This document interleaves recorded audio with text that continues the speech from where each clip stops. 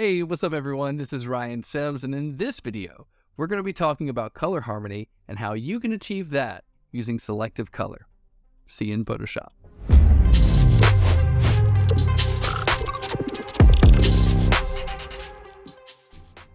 All right, so here we are in Photoshop. We've got our subject, which is this really cool Viking warrior princess type character and she's in this really cool viking village and you've got some very cool tones in there some greenish bluish teal type tones and our subject doesn't quite match the background. So when you're color grading your image, you either need to make your background match your subject or your subject match your background. In this case, we're going to make our subject match our background. So there are many ways that we could color grade, but today we're going to be talking about selective color. So I'm going to go ahead and select my Viking layer and I'm going to go up to selective color and I am going to click this little button right here that is going to clip our adjustment layer to our subject layer and then I'm going to click on this little box right here and that's going to make the adjustments. So this is the menu that we need to be in in order to do that and so if you click right up here where it says colors in this little drop down menu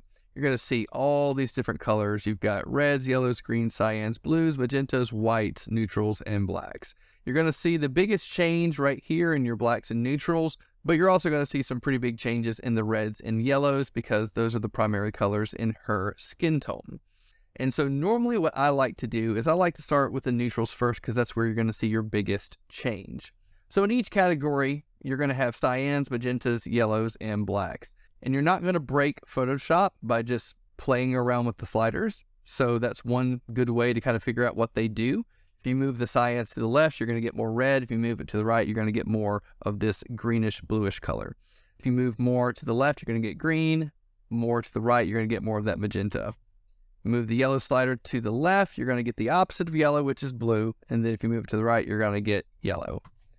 And then with the blacks, same thing. You're going to get more of this lighter tone here in the neutrals versus more of a darker tone here to the right. So normally what I like to do is I just like to eyeball it.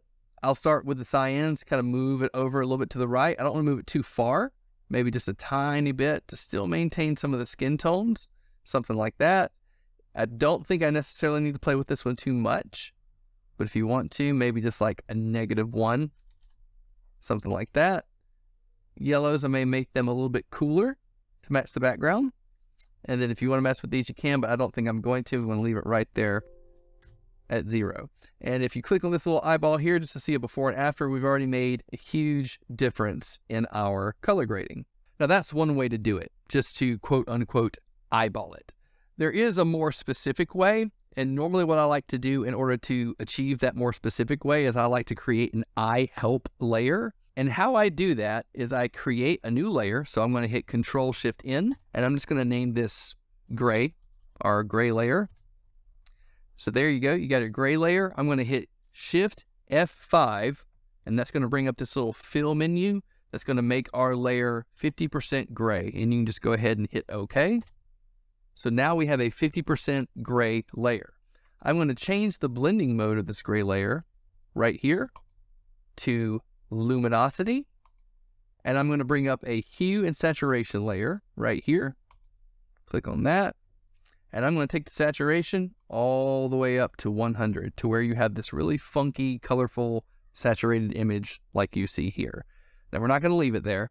So I'm going to go ahead and select both of these. I'm going to hold my control key down, click on both layers, make sure they're selected and hit control G.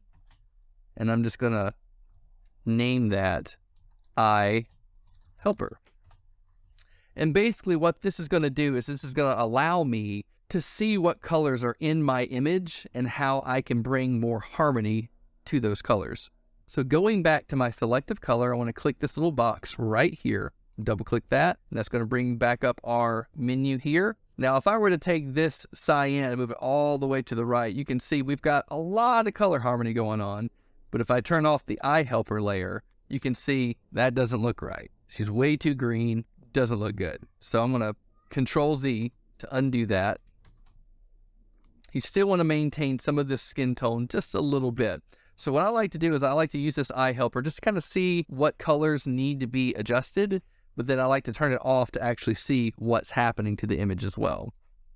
So if I turn the selective color off, that's where we were. You could see everything's red. It's completely contrasted to the background. And we don't want that. We want harmony. So if I turn it back on, you can see that we have a lot more of that, right? We've got the greens and the yellows. You see a little bit of the greens, tiny bit of yellows right here, but then mainly a lot of this like cyan and blues that we're getting a lot more in her outfit here. So as we continue that trend, let's start with the skin tone. Start up here with the reds. Maybe move this slider over just a little bit. And I'm going to go back to my eye helper layer, turn it off just to kind of see where I'm at. Very good and continue on with this process. Don't know if I'm going to move this too much, but literally we're just kind of sliding and it's kind of trial and error. You're not going to break Photoshop by just playing around with these sliders. So by all means, play around with them. And I like to turn that off just to see my progress. And then I'll move on to the yellows, kind of play around with this slider just a little bit, see what's going on. Something like that right there may not mess around with the blacks too much.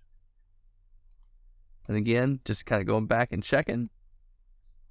And if you want to mess with these other colors, you absolutely can. But since I know that the primary colors in this subject are going to be red and yellow, those are going to be the main ones I touch. The other ones are going to be your white, neutrals, and blacks. So let's go ahead and go to white.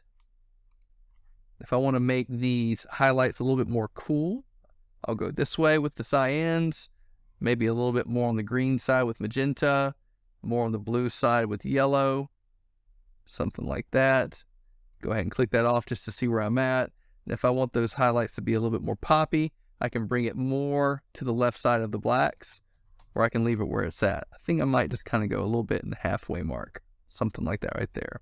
And you can tell we've already brought so much more color harmony to this image. If you think it blends in way too much, okay, just drop the opacity down. Maybe start at like 75% and go from there. Maybe you like a little bit more skin tone in your image, but that's just a quick way that we can color grade our image using selective color. Selective color can be a really powerful tool in Photoshop. It gives you a lot of creative and dynamic range when it comes to messing with the sliders of the all the different colors in the color wheel. Don't be afraid to get in there and play around with those sliders and really experiment around with it. And just remember, the eye help layer that I showed you how to do can be really powerful as well as far as guiding your eyes in the right direction of what does and doesn't look correct because you're actually getting to see what actual colors are in your background image and how you can harmonize that with your subject. And just be sure to flip back and forth. That way you don't go too far in one direction. You want to kind of maintain a little bit of that original color so that way you don't completely lose the skin tone but at the same time you just want to make sure that that's balanced with your background so everything blends quite nicely. So i hope you enjoyed that video. Make sure that you like and subscribe to our channel to see more content like this. Be sure to comment in the comment section below on what you would like to see us work on next. For more information be sure to check out cghacks.com so until next time create more say less stay creative